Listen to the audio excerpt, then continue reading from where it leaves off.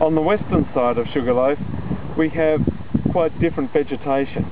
We have grassland with these carbeen trees or Moreton Bay ash or Corymbia tessellaris. The name refers to the tessellated or tile-like bark on the base of the tree going up to smoother bark up above. Makes them a very distinctive plant. Interestingly on this one, up the top there are some bracket fungi that are feeding on the, on the dead wood where the plant's been damaged.